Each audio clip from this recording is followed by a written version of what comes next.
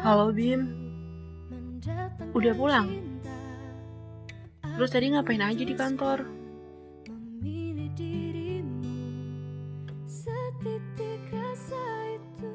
Bim, kok diem sih? Iya, Syah. Ini baru banget aku nyampe. Kok lama sih jawabnya Bim? Pertanyaan aku satu belum dijawab loh Bim. Kamu tadi ngapain aja di kantor? Aku bilang kan tadi, aku baru banget nyampe. Di kantor lagi banyak buat kerja. Deadline numpuk. Semua serba diburu-buru. Sekarang baru aja aku nyampe udah kamu buru-buru sama pertanyaan gitu. Gak bisa apa kalau nanya pelan-pelan aja. Enggak gitu Bim. Aku sayang sama kamu. Aku hanya mastiin kamu baik-baik aja di kantor. Ingat ya Bim, aku gak suka kamu deket sama semua teman cewek-cewek kamu. Aku gak mau ada orang-orang baru yang mencoba masuk ke hubungan kita. Aku gak mau dan aku gak suka. Apaan sih kamu, Syah? Kamu tuh peduli apa cuma sekedar curiga sih sama aku? Cuma itu-itu terus yang selalu kamu bahas. Udah berulang kali aku jelasin biar kamu percaya.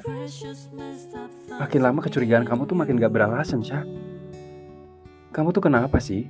Kamu yang kenapa Bim? Kamu tuh aneh tau nggak? Kamu gak sayang lagi sama aku? Udah benci sama aku? Aku nanya baik-baik malah kamu bilang kecurigaan aku gak beralasan.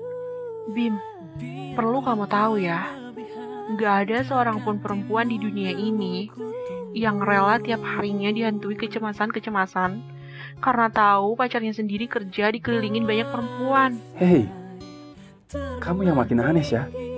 Aku tahu kamu punya banyak luka sebelum kamu masuk ke kehidupan aku. Kamu banyak melan kecewa dari masa lalu. Tapi kamu gak lagi di situ sekarang. Kamu hidup di hari ini sama aku. Udah hampir dua tahun kita jalanin hubungan ini. Apa pernah aku main-main di belakang kamu? Apa pernah kamu nemu bukti atas semua kecurigaan kamu?